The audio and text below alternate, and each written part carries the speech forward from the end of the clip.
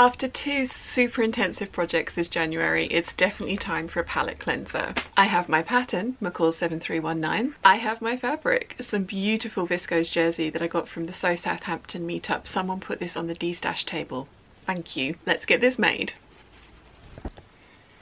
A few hours later, the dress is complete. This is one of those rare occasions where it has come out exactly how I imagined it. And after the Ziggy jacket, that was definitely needed. I absolutely love this dress. I know the pattern isn't in print anymore, but there is a Butterick one that is similar, which I will list in the description. And if you can get your hands on this one, I absolutely love it. And I've done a sew along talking you through making it look like the dream dress on the envelope because this is not the one. I love this. I love this so much. Thank you very much to the lovely person who brought this fabric to the Southampton meetup.